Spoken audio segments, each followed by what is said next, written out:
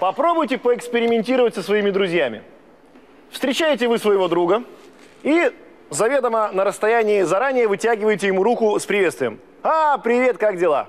Он тоже, э, ну, таким довольно привычным движением протягивает руку, и его участок мозга, так как это делает он постоянно, и для него это движение привычное, уже начинает как бы заранее воспринимать тактильные ощущения своей правой руки, которая жмет вашу правую руку. Он уже готов, мозг, воспринимать эту информацию, и он ее ждет. И тут неожиданно вы своей левой рукой ловите его правую руку и ему показываете ее. У человека ступор. Его мозг приготовился обрабатывать одну информацию, а получает совершенно другую. И в этот момент, как ни странно, мозг человека развивается. Да, таким способом, говорят, можно себе тренировать память. То есть расширять сферы деятельности своего мозга. А чем я хотел сказать, кстати? А, у нас сюжет как раз про это. Про мозг и про память.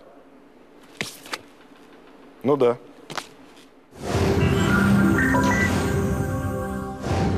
Галилео продолжает изучать секреты работы человеческого мозга. В исследовании вновь участвуют архитектор Иван и художница Мария. Молодые люди собираются пойти на выставку. Для Маши это очень важно, поэтому подготовке она уделяет особое внимание. Вань, тебе какое платье больше нравится? Вот это или вчера, которое синее было, маме, помнишь? Мне все равно. Мне какое нравится. Тебе вообще, что ли, все все равно? Нет, Маш, мне все равно, в чем я пойду. Я просто не хочу привлекать к себе внимание. Сегодня мы выясним, что такое внимание и зачем нам нужна многозадачность. Смотрите, как внимательно Маша разглаживает каждую складку. Но стоит ей на секунду отвлечься, художница обожгла палец. Наш мозг всегда расставляет приоритеты. Либо гладить, либо смотреть телевизор. Быть внимательным, выполняя сразу два действия, очень сложно. Проведем эксперимент. Этот молодой человек будет читать стихи, записывая их на бумаге. Дай, Джим, на счастье, лаву мне. Как видите, испытуемый полностью сконцентрирован на поставленной задаче. Теперь прибавим звук телевизора, который находится в комнате. Смотрите, подопытному все труднее концентрировать свое внимание на стихах. Паузы увеличиваются. Скорость записи стихотворения резко падает. Появляются грамматические ошибки. Телевизор все больше переключает на себя внимание. Через минуту испытуемый перестал писать. Теперь он полностью сосредоточен на телепрограмме. Получается, что одновременно выполнять разные действия действительно сложно. Когда Маша наконец собралась, и молодые люди спустились к машине, девушка вспомнила, что забыла в квартире свою сумочку. Подожди. Ой, а, сумку забыла. Маша! Иван вынужден возвращаться. Заходя в квартиру, он обнаружил, что рассеянная Маша, плюс ко всему, не закрыла на ключ входную дверь. Маша. Маша, Почему же многие люди настолько рассеяны и невнимательны? Часто это говорит всего лишь о том, э, что какой-то внутренний мир, э, какие-то внутренние процессы для человека намного интереснее, намного более захватывают его, чем какая-то вот эта бытовая повседневность, очень обыденная, малоинтересная. По дороге Маша продолжает прихорашиваться и красит губы прямо за рулем. Ты могла бы не делать этого за рулем?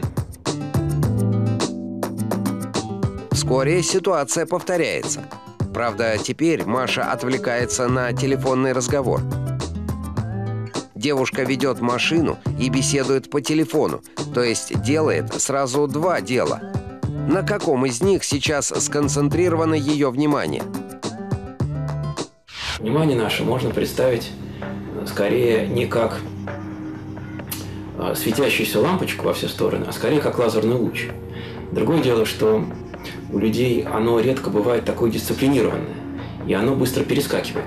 Например, почти невозможно, скажем, смотреть на секундную стрелку в течение одной минуты, чтобы внимание ваше не перепрыгнуло на что-то.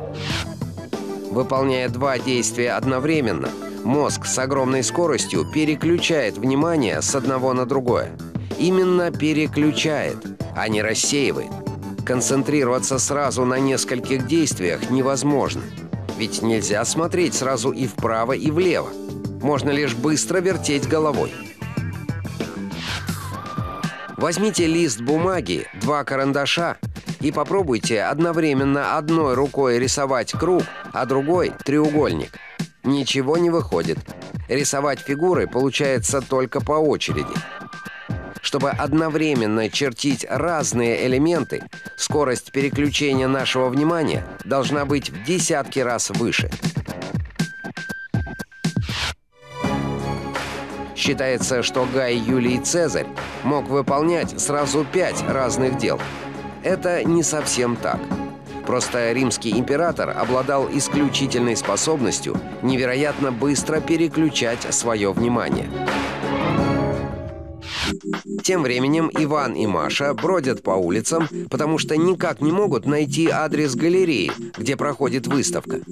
А может быть, нам со двора зайти? Но, похоже, нашим героям придется поменять планы. Держите его, держите, он украл мою сумку! По просьбе девушки Иван мгновенно бросается за преступником в надежде вернуть украденную сумку. Пока архитектор отчаянно догоняет вора, Маша пытается успокоить несчастную девушку. К сожалению, поймать преступника не удалось. Наши герои решили дождаться приезда полиции, чтобы дать свидетельские показания и помочь найти вора.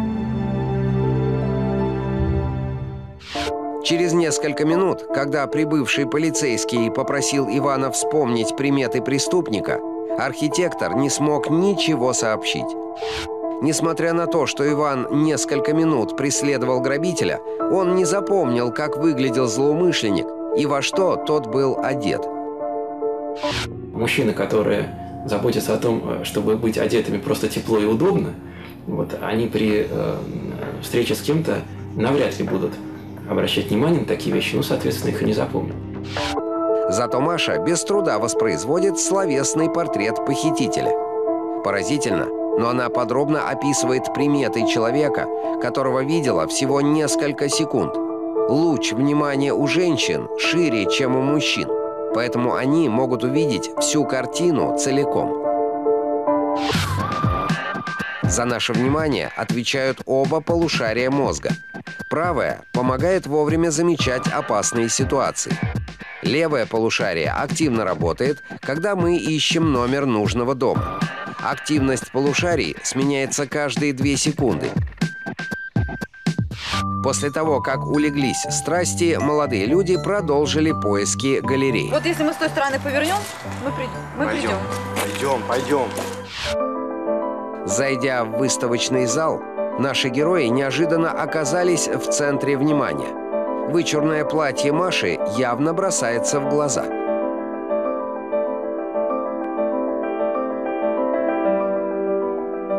Наше внимание устроено так, что среди одинаковых объектов мы моментально выделяем те, которые отличаются от остальных.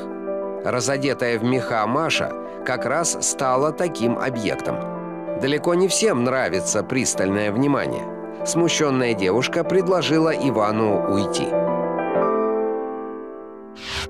Молодые люди решили сразу отправиться домой. День сегодня был насыщенным, и они порядком устали. Алло? Да вы что? Как я рада! Не стоит благодарности. Я рада, что помогла. Всего доброго. А кто это звонил?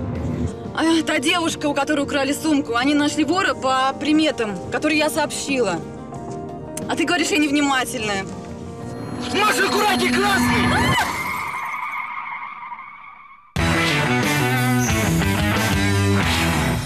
А и действительно, ведь свою концентрацию можно натренировать.